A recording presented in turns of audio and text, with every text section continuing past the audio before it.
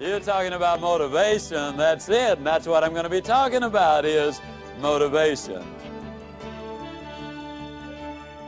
West Texas rancher had a coming out party for his daughter. Now, this was one of those real rich Texans. I mean, thousands of acres of land, tens of thousands of head of cattle, dozens of producing oil wells. I mean, a great big house and an Olympic sized swimming pool.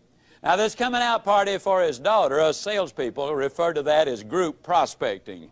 I mean, he wanted to have a look of all of the fine young men in West Texas, so they came in from a 100 miles away. Well, they had a marvelous occasion, and along about midnight, the host invited them out to his Olympic-sized swimming pool, which he'd had the foresight to stock with water moccasins and alligators. And he said to the young men, he said, now the first one of you young men who will jump in this pool and swim the length of it, he said, I'll give you 5,000 acres of my best land. And if you don't want the land, he said, I'll offer you $1 million in cash. And he said, if you don't want that, I will give you the hand of my beautiful daughter in marriage. Now, I don't have to tell you fellows this, but I think it's obvious that everybody knows that she is our only heir.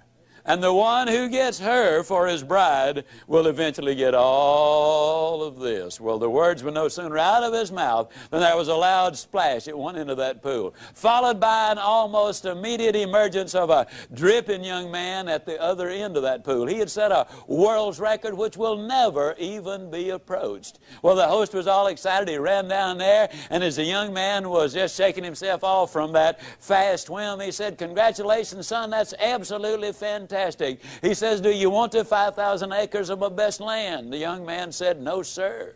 He said, Well, do you want the million dollars in cash? He said, No, sir.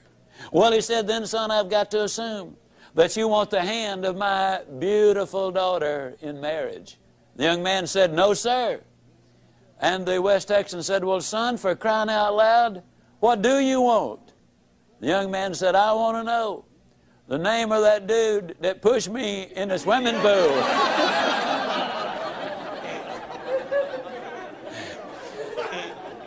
now, I think we'll all agree that he was motivated. But I think we'll also agree that most people are confused about motivation. One of the favorite questions the media often ask me is, Mr. Ziglar, now you're going to do this four-hour seminar. Yep, that's right. And you're going to get the people all motivated. I said, I sure hope so. That's what management brings me in for.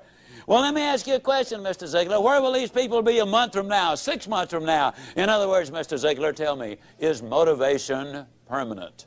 Well, I got to look at you folks and say, no, motivation is not permanent. But then neither is bathing.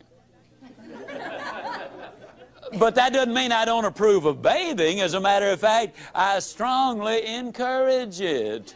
Eating is not permanent unless you don't eat, and then pretty soon your condition will be permanent. No, motivation is not permanent for the simple reason that we've got demotivation, which takes place every day of our lives.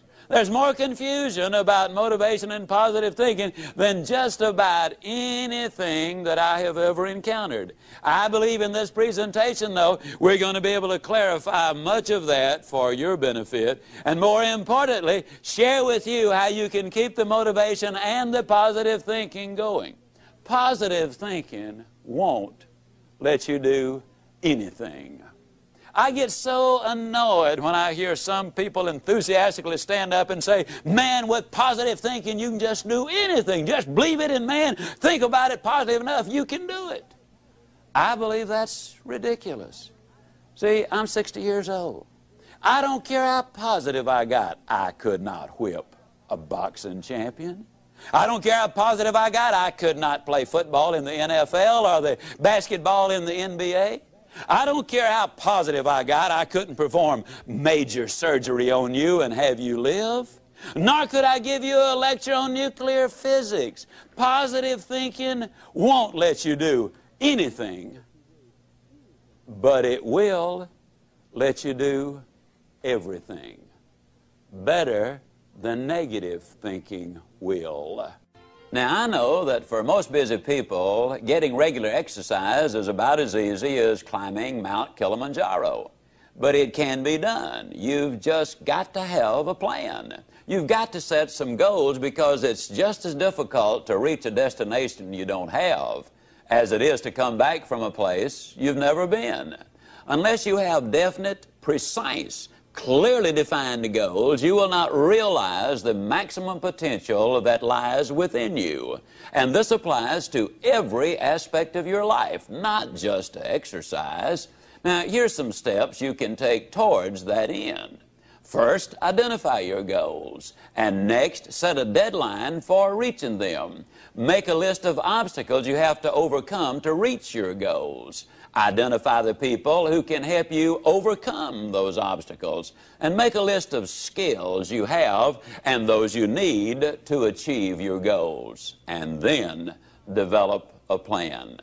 Now, a word about goals themselves. There are seven different kinds of goals. There are physical, financial, spiritual, career, family, mental, and social.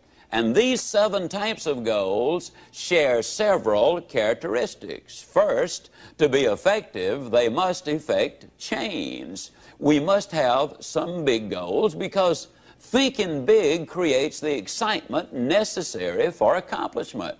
Second, you must have some long range goals so that short range frustrations don't stop you in your tracks. Occasionally, circumstances do arise that are beyond your control, and oftentimes, obstacles such as market changes, sickness, accidents, or family problems can be pretty intimidating. But by keeping your eye on the prize, you will find that the excitement of winning that prize will carry you through the tough times. Third, if you don't have daily objectives, you qualify as a dreamer and not as a doer. Dreamers are fine, provided they build foundations under their dreams by working daily towards them. Often, the difference between the great and the near great is the awareness that making it big means working every day towards our long range objectives. And four, your goals must be specific, not vague or general. If you want a new home, for example, know every detail of that house. How many square feet, number of rooms and bathrooms, the shape of the living room, the type and kind of lot, its location, if it's a car you're dreaming about, picture the make, the model, the color, and every option you want it to have. You see, if you want to reach your goal, you must see it, be able to smell, to touch, and to taste it, know how it looks and what it feels like in your own mind. Before you can reach that goal, you see, it is true that whether you think you can or think you can't, you are generally right.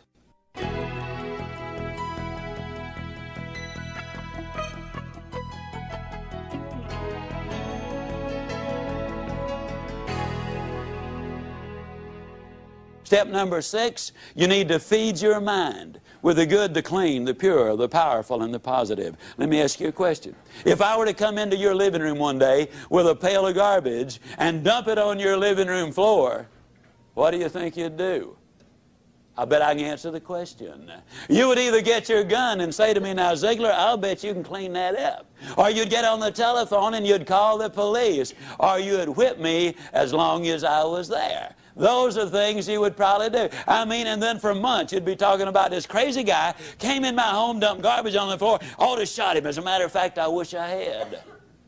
But we could clean the garbage up off your living room floor.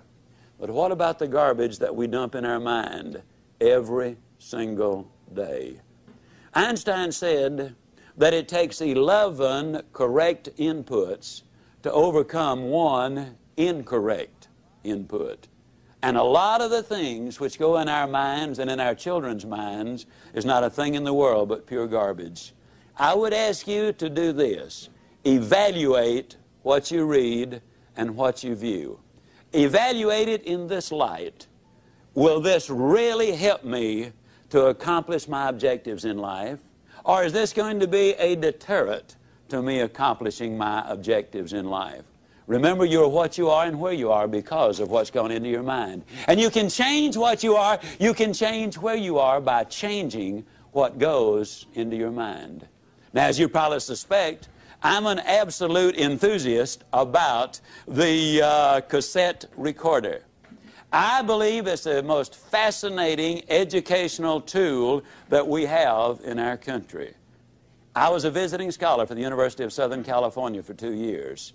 One of the things they discovered was that if you live in a metropolitan area and drive 12,000 miles a year, that in three years' time you can acquire the equivalent of two years of college education. You can learn virtually anything you want to know about finances, foreign languages, the Bible, how to set goals, how to close sales, how to plan your life. You can learn so many things while you're there in your car. Feed your mind. Second thing I would encourage you to do is start reading something good every day. Did you know if you read 20 minutes a day and you're an average reader, that at the end of the year you will have read 20 200 page books, and that the average American only reads one good book a year? Think of what an advantage that will give you over the competition in whatever field you're in. Now, who does these things? Well, Mary Kay Ash of Mary Kay Cosmetics told me that she would never get in her car without a cassette that she could listen to while she was going somewhere. H.L. Hunt, worth $3 billion at his death, listened to cassette recordings until after he was 80 years old. Wallace Johnson, one of the co-founders of Holiday Inns International, over 80 years old, tells me he listens every day and reads at least two good books every month. Alan Bean, one of the astronauts who walked on the moon, told me that the astronauts on their way to the moon and back, and please understand, these people have the best self-images, the most clearly defined goals, the most positive mental attitude. They're the most confident, competent people as a group, maybe that our country has. But these people were listening to motivational recordings on their way to the moon and back. And what a delight it is for me to be able to say that some of the recordings they were listening to were fantastic. You need to feed your mind. Now, a lot of times people say, yeah, you know, when I'm down in the dumps just a little bit, I really enjoy listening because it gives me a lift. Well, I'm glad to hear that, but let me give you the most surprising news maybe you've ever heard. It's good to listen when you're down. But, folks, the ideal time to listen is when you're sky high. Let me tell you why. When you're down, sometimes you grab at straws, and sometimes you grab the wrong straw. Also, a lot of times, and here's the real benefit to listening, it triggers your imagination, stirs up all of the stored information which you already have in your mind, and a lot of the good ideas then come forth. But if you're too down to accept them, then you turn away the very best ideas of all. Listen when you're up. And then with those endorphins popping, and they do pop as a result of listening to good motivational recordings, when you listen then and new ideas pop in your mind, it generates even more excitement. Here's what we've discovered. You need to listen at least 16 times to get the complete message. That's the reason I say listen to this over 16 times because you will get all of it then. It will become a part of you. Let me say it again. Uh, you probably have been in the process of making decisions right now. As you listen, you will make those decisions. But as you listen over and over, the decision changes to commitment. And once you've made the commitment, then you will seek the training which will make the difference because that means behavior changes. And when you change behavior, then you start developing winning habits. And that's what this is really all about. Step number seven, if you want to build a winning attitude, you need to take time, and this is probably going to surprise you based on what you've heard me say so far, but you need to take time to be quiet. You know, the average American sleeps 30 minutes too late every day.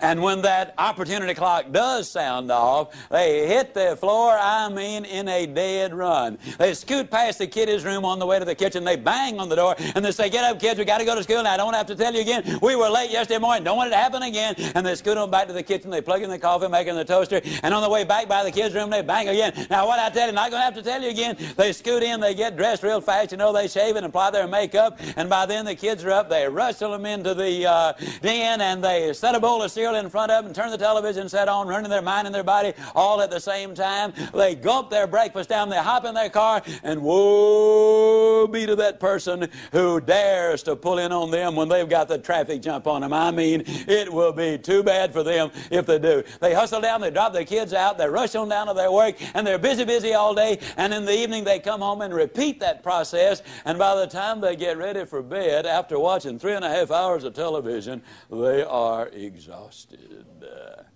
You know what we need to do, folks? We need to take time to be quiet. You need to do it at least four or five times a week. A lot of people say, well, that guy keeps talking about time for this and time for that. I don't have time for all of these things. Let me tell you how you can create an extra three hours every day of your life, guaranteed. Get your TV guide out on Sunday afternoon and look at the shows that you really want to see that week over 70% of all of the time spent watching television, you're watching things you have no interest in watching. Let me encourage you to do this. Take a slow, lazy, drifting, absolutely meaningless walk. Just almost go to sleep on the walk. Not an exercise walk, you need to do those too, but a very quiet walk. Pick out a place in your home where you can be absolutely quiet on occasion. If you have to get up 30 minutes earlier, that's wonderful. I don't know why, but I seem to wake up earlier in the winter months than I do in the summer months. And when I get up, it's pitch dark. I have a nice little office. I go in there and I turn on the gas log. And I sit there. And every time I do that, without exception, I have the most exciting day of my life. I simply run through my mind the things I'm going to be doing.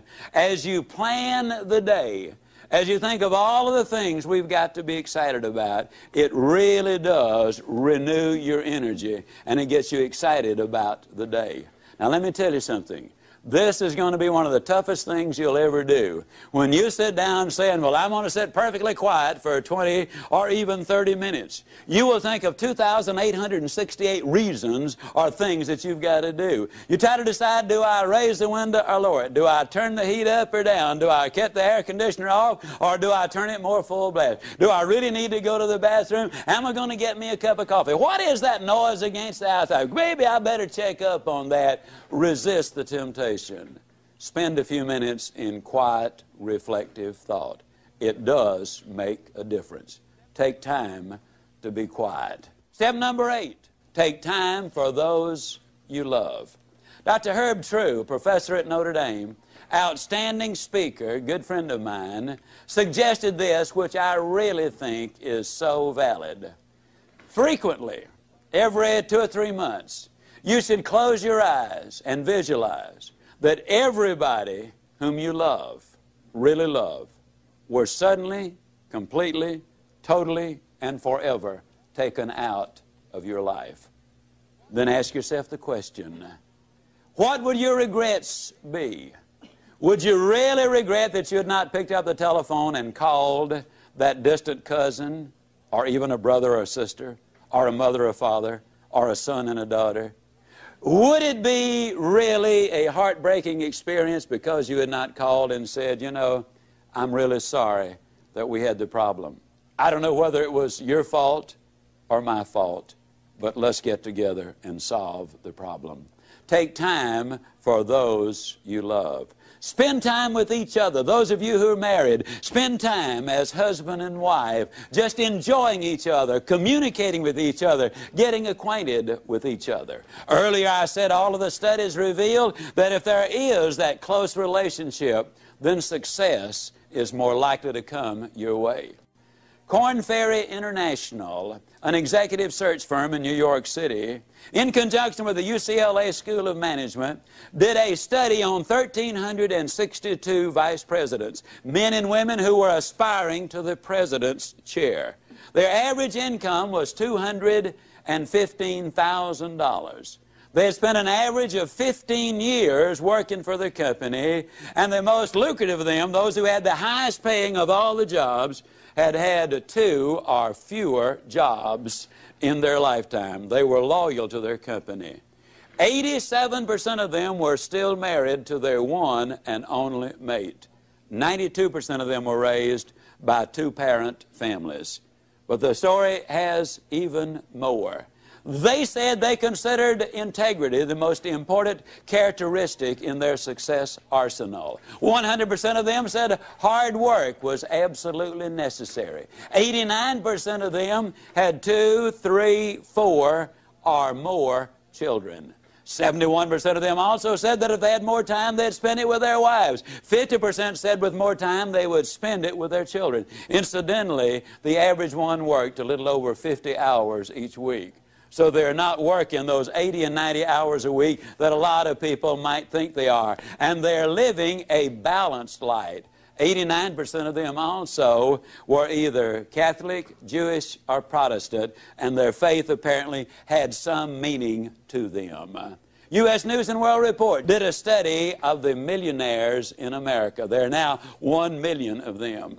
They said the typical millionaire has gotten that way because he's earned his money or her money over a period of 20 to 30 years. They do work about 50 hours a week. They're still married to their high school or college sweethearts. In other words, the family is intact. Incidentally, a couple of other little things you'll be intrigued about this. They discovered that less than 1% less than 1%, and the implication was it was considerably less than 1%. Of all of the millionaires in America earned their money in music, radio, television, the movies, and all athletic endeavors combined, considerably less than 1%. Intriguing, isn't it? Also, they discover there are far more salespeople who are millionaires than doctors. And me being a salesman, I kind of related to that one. I thought it was neat. Now, what does all of these studies uh, really say? These studies say uh, that if we can build that relationship with those we love, now, your family might simply be mother and daughter. It might be father and son. It might be husband and wife. It might be brother and sister. But you know who you're close to. The better you get along with the ones you love, the more likely you are to be successful in whatever else it is you do. Now, what do these steps involve? Let's do a very quick review of them. Those eight steps, number one, we decided we would not judge the day by the weather. Number two, we'd learn to look for the good in every situation and every person. Number three, we would greet people properly, whether it was on the telephone or in person. Number four, we would identify the Goliaths of life for what they really are. Number five, we would take care of our physical body. Number six, we would daily feed our mind with the good and the clean and the pure and the powerful and the positive. And number seven, we would take time to be quiet, to recharge our batteries. And number number eight, we would spend time with those we love. Now, let me give you a little warning. When you start doing the things we're talking about, when you start talking about Goliaths and warms and strong ends, when you start talking about super good but I'll get better, when you start talking about outstanding but I'm improving, there will be some who will criticize you. You can count on it. But let me tell you this since the beginning of time, nobody has ever erected a statue to a critic. So obviously, they're not held in such high esteem. I might also warn you that there are some people who will laugh at you. But let me remind you that the little world laughed, but the big world gathered on the banks of the Hudson when Robert Fulton went steaming by. The little world laughed, but the big world was at Kitty Hawk when the Wright brothers made that historic flight.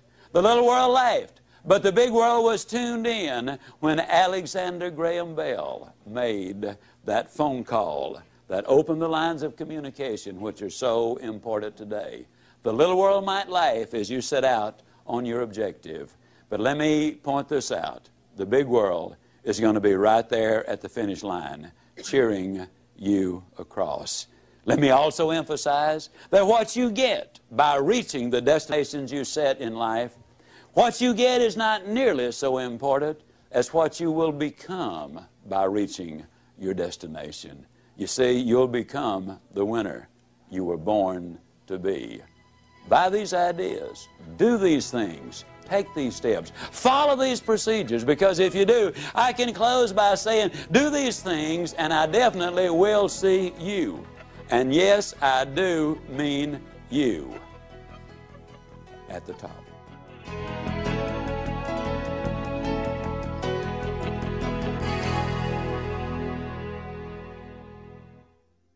This has been a presentation of Simon & Schuster Audio. You know what positive thinking will do? Positive thinking will let you use your ability. And I'm here to tell you that is all you really need. Positive thinking won't let you do anything, but it will let you do everything better than negative thinking will. Will you buy that idea? Does that make sense to you?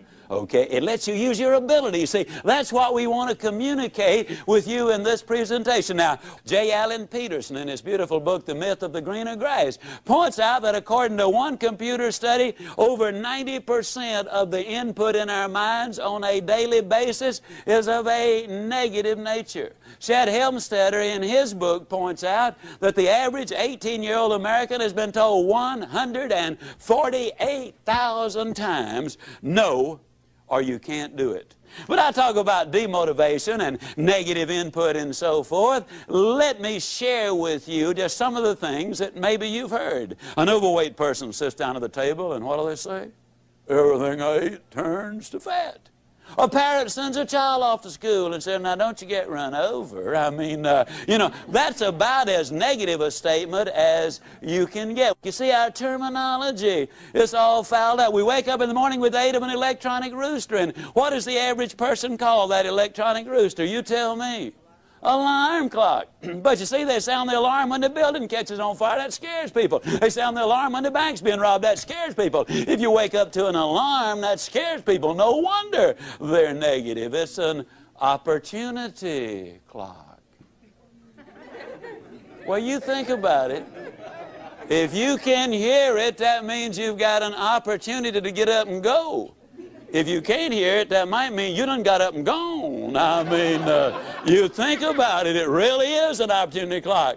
How negative are we? They bring out a loaf of bread, and what do they call the first slice? I mean, the first slice on the loaf of bread. Tell me, the heel or the end? Isn't that crazy? Never saw a loaf of bread in my life that didn't have two beginnings. I mean, we really need to explore that. Now, what we want to do is we want to look at a formula. And this formula is a very significant one. William James, the father of American uh, psychology, the man who really wrote the original books, he's from Harvard, says that if you want to change your life, you've got to do it immediately and you've got to do it flamboyantly. Now, I want to emphasize as I get involved in this during these next few minutes, the chances are enormous that you are going to be making some decisions, and they will be good decisions. But they also will be emotional decisions, kind of like a New Year's resolution, which some people break the very next day. Decisions are easy to make. Business people make hundreds of them virtually every day of their life. Now, if that decision is going to mean anything, it's got to be reinforced over and over and over, and it's got to be done enthusiastically.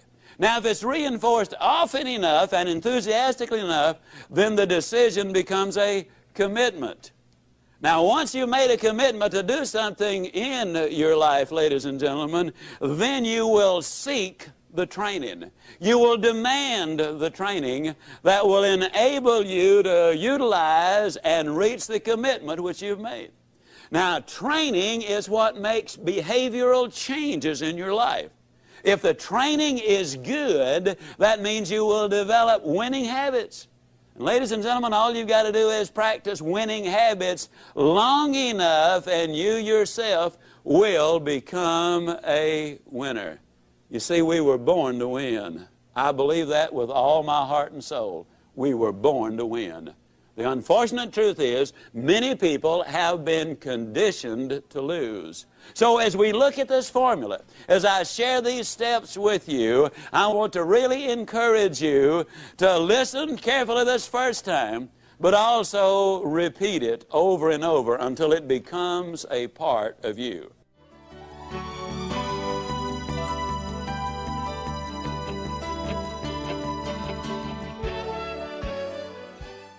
To break a bad habit, smoking, drinking, habitual lateness, being overweight, whatever, the first and most important thing you must do is decide that you really want to change. That is a decision you and only you can make.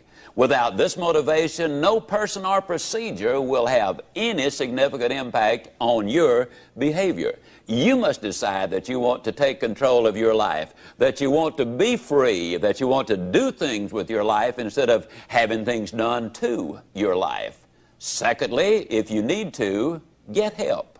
Interestingly enough, many people quit their bad habits in the same way they acquired them by associating with people who share their goals. Alcoholics Anonymous, Gamblers Anonymous, Overeaters Anonymous, literally hundreds of self help organizations provide just this sort of positive association and support for people with problems. Thirdly, try substitution.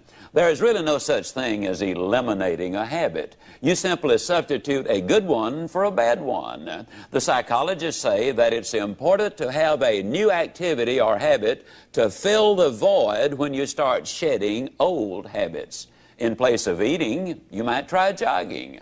Instead of drinking, you might try talking. In place of smoking, substitute writing. In other words, don't be unwise in your habits, but rather aspire to maturity and wisdom and keep your mind well and emotions focused on positive ideas. Step number four. Use the psychological technique of imaging, of visualizing yourself as free of that destructive habit. Picture yourself as doing something else, something positive, something winning. And a final suggestion.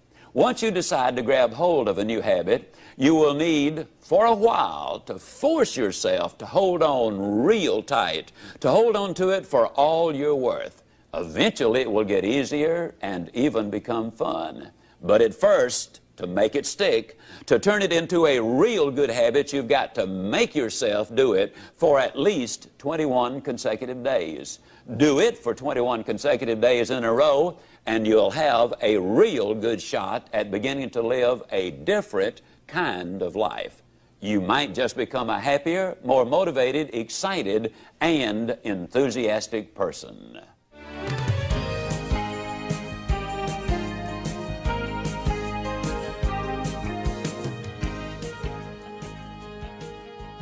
Step number one is never judge the day by the weather. Now that sounds like a very simple thing. But suppose the weather is miserable. Does that mean you're going to decide to have a miserable day? That doesn't make any sense, does it? And yet, every a lot of times when I'm talking with people, I'll say, "How you doing?" Well, they'll say, "You know, with this weather, what can you expect?" As if the weather was the only factor. I'll never forget when my beautiful middle daughter was born. Dreary, bitterly cold, cloudy, overcast, snowy day. Oh, it was an ugly day. But do you think when I looked at that beautiful daughter of mine that I had any concern about the weather out there? Step number two, you need to learn to look for the good in other things and in other people. Now that's very, very important. Forbes magazine had a most intriguing article. They were talking about successful entrepreneurs. And in this article, they point out that an incredibly high percentage of those entrepreneurs make their money in a new location. Now, the new location did not matter whether it was north, south, east, or west. It did not matter whether it was rural or urban, but they invariably, or oftentimes, I should say, made their money in a new location. Now, why is that? Very simple. When they go in the new town, they are the new area, they're not familiar with the bureaucracy. They're not familiar with the problems. They don't know the things which cannot be done. They go in with extraordinarily high expectations. And expectations in life, ladies and gentlemen, are so important. You see, you're going to find what you are looking for. We have a seminar in Dallas which people attend from all over the world. We try to get the corporations and other people to send husbands and wives together because our research indicates that if the team functions together, they both will do better in whatever it is they do. There's one company sent in four couples. We have a little process whereby we separate the people into little groups, so one section of where we got about eight or ten people, another where we got about 20 people, and then we have the general get-together uh, three times a day. Well, in the individual groups, they do a lot of role playing and participation. They're very busy. And every time an individual says or does anything, the other members of that other group write them a little note that says, I like Gene Smith because. And then they use some specific observable behavior that they like about her. At the end of the three days, each one there will have from one to as many as 200 of those little slips. You're talking about motivators, people get excited about it. Well, these four couples really got turned on, and we finished at about 8.30 that evening. They went out the first night to a very late dinner at one of Dallas's finest restaurants. They hit the jackpot with a waiter. He had been there over 20 years, been a waiter over 25 years. He was professional in every way. He was there when he was needed, but he did not join the party. He was friendly, but he was not familiar. At every need, he was there. He was really great. There was a lot of interchange. They got his name. When they left, because he had contributed so much to the enjoyment of the evening, uh, they left him a 25% tip, which is significant in a very expensive restaurant. Also, each one of them wrote him one of those little slips of paper, I like because. And they walked out the front door. They'd gotten about a hundred feet when they heard his voice from the rear saying, Wait a minute, folks, wait a minute. And it was the waiter running up to them. He was waving those eight slips of paper. He said to them, You know, I've been a waiter over 25 years. I've been here over 20 years. And then he broke down. And they said he could not talk for what seemed like forever. It probably was no more than a minute. He finally regained his composure and he said, You know, this is the nicest thing that has happened to me in 25 years as a waiter. He said, I'll never forget tonight. And he turned and walked away. Cavett Robert says that there are over 3 billion people on the face of this earth who go to bed hungry every night. But he says there are 4 billion people on the face of this earth who go to bed hungry every night for some sincere, honest appreciation, a compliment, if you will. The waiter story has two bottom lines. Bottom line number one, wouldn't you love to have been at the next table that waiter served? Don't you know they got the best service anybody has ever gotten in a restaurant since restaurants opened to serve the public? But the real bottom line and the real reason I tell the story is this. The waiter said it was an occasion he'd never forget, the most important event of his 25-year career as a waiter. His benefits are enormous. But as great as they were, every last one of the eight received an even greater benefit. It's absolutely true, folks. You can have everything in life you want if you will just help enough other people get what they want.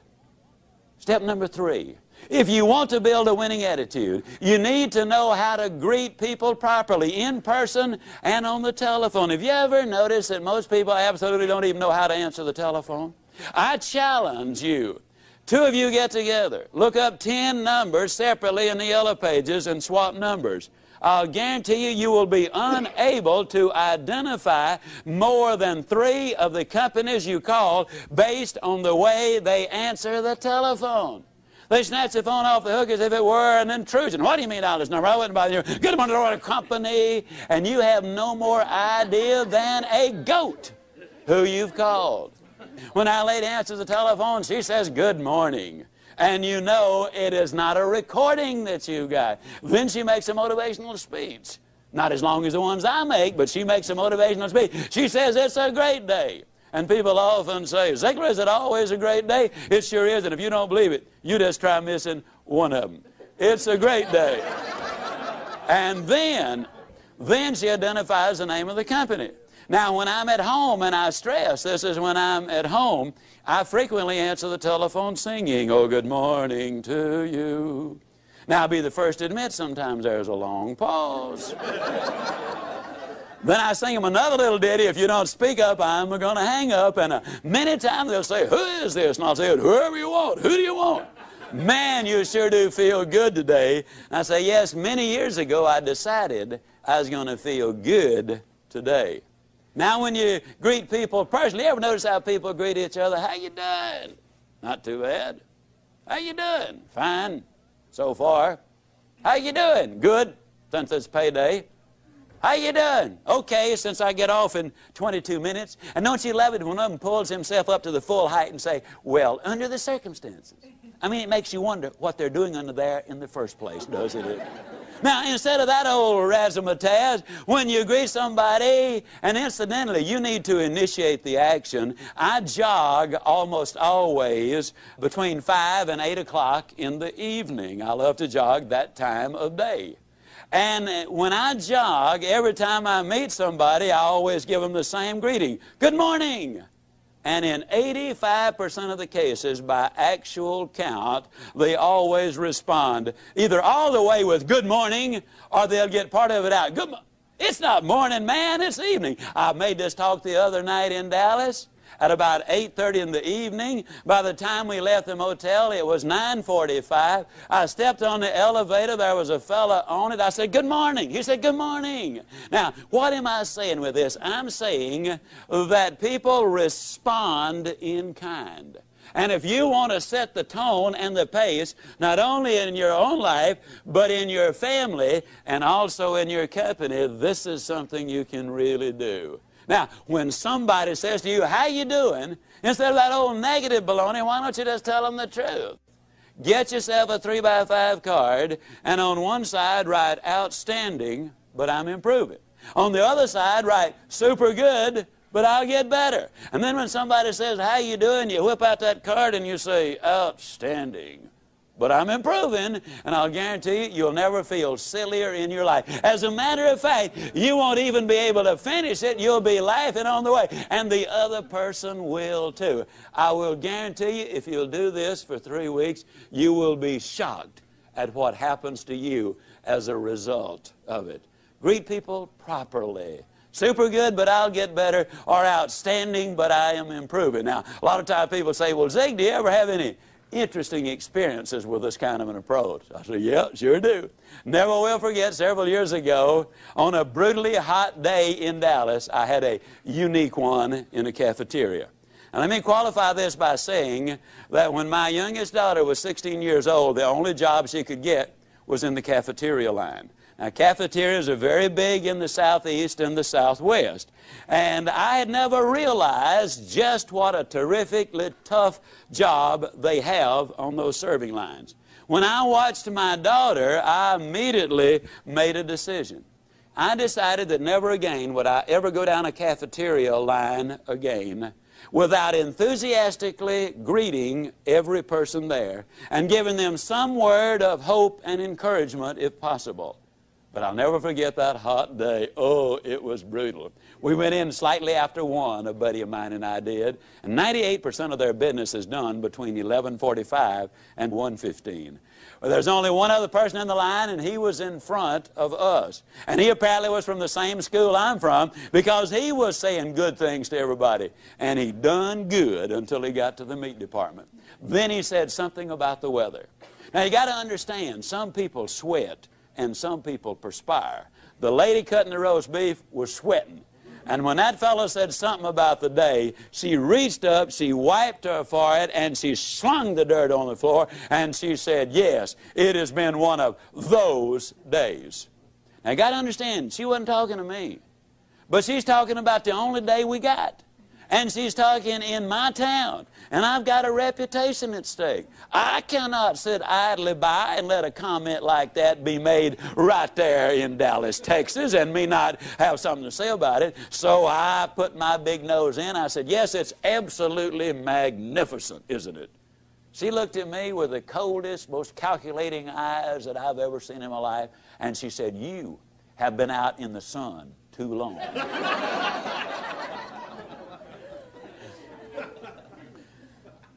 I said, No, ma'am, I've just gotten back from overseas.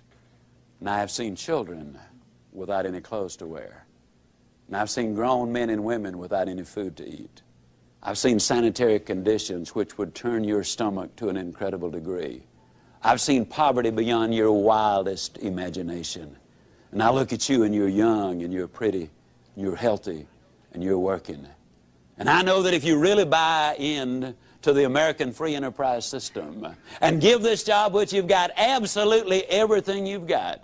I know that you can move right up in this company because I'm familiar with this company. And I know that someday you can manage this restaurant or another one like it. And who knows if you really buy into the American dream, but what someday some investors might look at you and decide they wanted you to become a part owner in the enterprise. Personally, I thought it was a magnificent, off the cuff, impromptu speech. And I knew that she was grateful for it. I knew that she was especially grateful for the fact that I'd taken my valuable time and given her these priceless insights which were going to make a difference in her life. And I knew she wanted to thank me for doing it, but for fear she might have missed her cues, I decided to give her a little lead in. I said, Now you feel lots better, don't you? She looked at me with even more disgust and said, You are sick.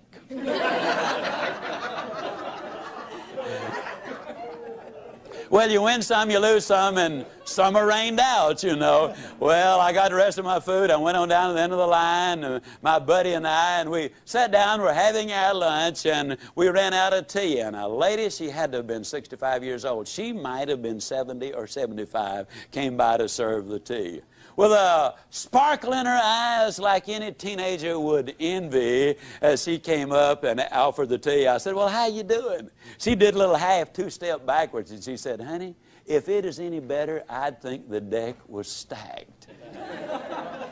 I said, why don't you go tell those ladies on the serving line that? She said, oh, no. She said, if I fool around with them, I'd end up being just like they are. I don't know where she learned her psychology, but she's right on the button.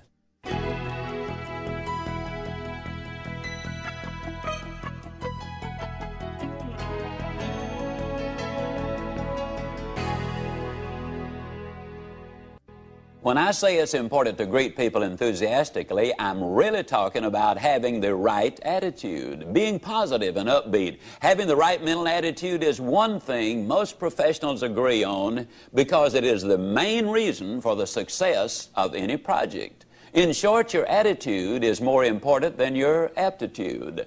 Now, here's where you come in. You can alter your life by altering your attitude. You are not stuck with the attitude you have. Good, bad, or indifferent, your attitude can be changed. So, how do you get up when you're down? Well, first, you recognize when you are down. Ask yourself, do I feel really down?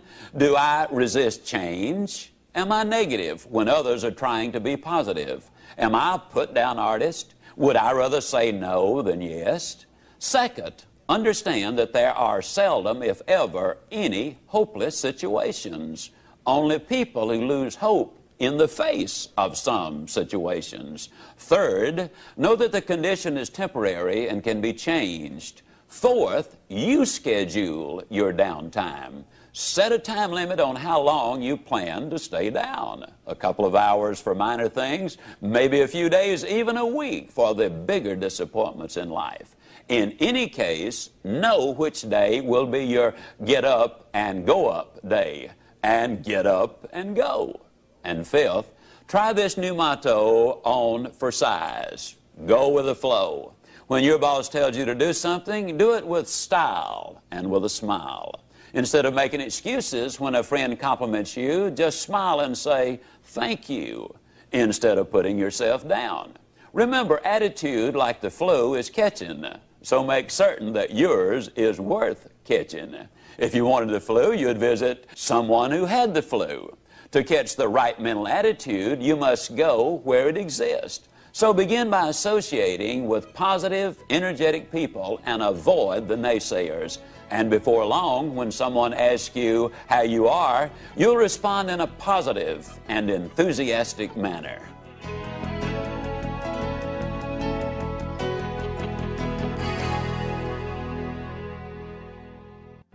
Step number four is you need to establish some symbols. It seems that on every street corner in every city I go in, there are some symbols. Some people call them red lights, some people call them stoplights, some people call them traffic lights. And in reality, they've all misnamed them. They are go lights, ladies and gentlemen, and they're put there for the express purpose of making traffic go. The average person spends 27 hours a year in front of those lights waiting on the right color to come along. Let me ask you a question. Have you ever been sitting there waiting on the right color to come along? You're all excited, you're all enthused, you're all motivated, you're listening to your Zig Ziglar tapes. And as you sit there, you look out the side of your eye and you can't believe it. Here sits a dude over there and he's waiting on the right color to come along too. He's got a good and firm grip on that steering wheel. I mean, he doesn't want that car to go anywhere. And he's talking to that light up there, you know, and you watch him a minute, you can't believe it. He's got his foot on the accelerator. He's racing the engine to change the color of the light. How many of you have actually seen some dodo sit there racing the car motor trying to change the color of the light? Can I see your hands? Now, folks, I hate to be negative. Matter of fact, I won't be negative. I'll be like a little boy came home from school one day and said, Dad, I'm afraid I flunked that arithmetic test. His dad said, Son, that's negative. Be positive. He said, Dad, I'm positive I flunked that arithmetic test. I don't care how much you race that car motor, it's not going to change the color of the light. Now, let me emphasize a point. Those of you who thought it might be a little juvenile a minute ago for you to say super good, but I'll get better, or outstanding, but I'm improving, if you think that's juvenile, what do you think it is to sit there race a car engine trying to change the color of the light? Good friend of mine, Bernie Lofchick, Winnipeg, Canada, most positive man on the face of this earth. I know, I know he is. Bernie's so positive he's never had a cold. Every once in a while he has a warm. Bernie is so positive he won't even talk about the weekend. He calls it the strong end. And you said, now wait a minute, Ziglar. Go lights, warm, strong end. Is all of that necessary? No, you can be mediocre without it. Mediocre. Who's that dude think he's talking to? Doesn't he know that I'm president of my own company? Mediocre. Doesn't he know I'm worth over $5 million?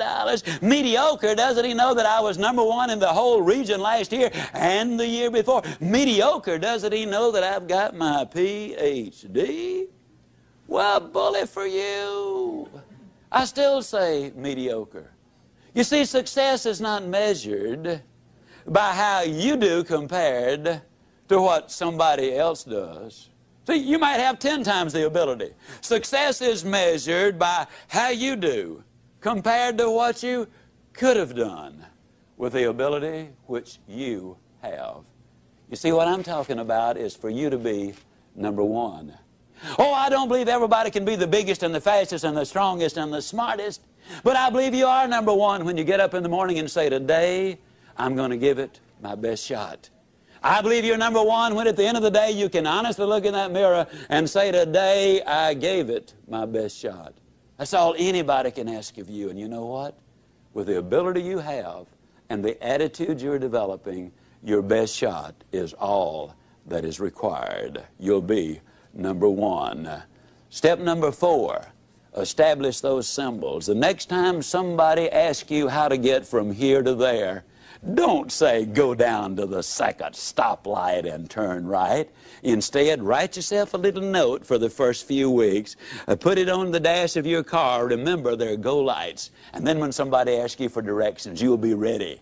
You say, you go down to the first go light and you can't say go light with a straight face if your life depended on it. And you know what? You'll grin from ear to ear. The mind is an associating machine, and I'll guarantee you, you'll get results. Step number five to build a winning attitude. To be up 90% of the time and on when you need to be. This one begins with a question. Is there anybody here who has a thoroughbred horse worth in excess of a million dollars? Okay? If you did have a thoroughbred horse worth over a million dollars, would you keep him up half the night, let him drink coffee and booze and smoke cigarettes and eat junk food? what about a $10 dog? $5 cat? You know, actually, you treat a $5 cat better than you do a billion dollar body. And if you had a million dollar thoroughbred, you'd have the best trainer in the country. You would hire a dietitian to make certain his food was exactly right. You'd have the best facilities. You'd have an air conditioned barn in the summertime and a steam heated one in the wintertime. A million dollar investment. But here's this billion dollar body. Step number five really boils down to the fact that we need to take care of our health. Now, to do that, there are some very simple things to do. You need to get a reasonable amount of sleep, ladies and gentlemen. Dr. Forrest Tennant, the number one drug authority in the country, in my opinion, is a consultant for the National Football League. He's a consultant for Texaco. He's a consultant for Abbott Laboratories, the Justice Department, the Los Angeles Dodgers. Has the largest research staff of anybody in the country.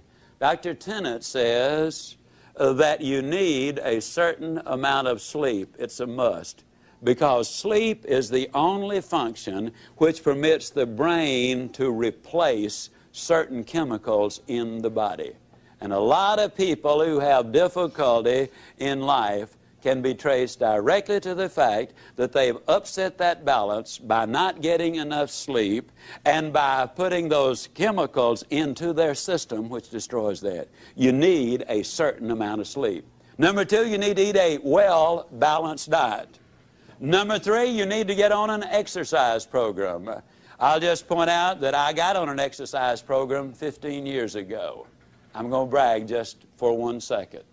In January the 5th, 1987, I went to the Cooper Clinic in Dallas for my physical. I go every 18 months. While there, I stayed on the treadmill longer than any active player in the National Football League who's been tested, and lots of them have been tested. I'm 60 years old. I have a resting heart rate of 41. I can do things today I never could have dreamed of doing when I was 25 years old. When I got on this program 15 years ago, the first day I ran A block, I'm here to tell you that a good exercise program will make a dramatic difference in your life. If you're over 30 or over 30 pounds overweight, get medical advice before you get started. Be sensible about it. Do not try to be a weekend hero and end up in serious trouble. Take care of yourself, but do what is necessary to get in shape physically. Now, a lot of people say, Well, Zig, I know you're terribly busy. When do you have time to run? Well, I am so busy I don't have time not to run. That's a literal truth. You see, when you exercise, you activate the pituitary gland. The pituitary gland floods the system with endorphins. Endorphins are over 200 times more powerful than morphine. And the result is you end up on a natural chemical high. And for the next two to five hours, you're far more productive, far more creative, far more energetic. I invest that few minutes in running and get back hours as a result of it. Take time to get in shape. You need to avoid poison. I'm talking first of all about smoking cigarettes. Every time you smoke a cigarette, you have just decided to die 14 minutes earlier than you otherwise would have died. 17 and 2 tenths percent of all the deaths in America are attributed directly to smoking cigarettes. Keep that poison out of your system. Booze, every time you take a drink, it damages and destroys brain cells. We now know that expectant mothers, even if they drink very, very, very, very moderately during pregnancy, it has an impact. Step number five, ladies and gentlemen, you need to take care of your health.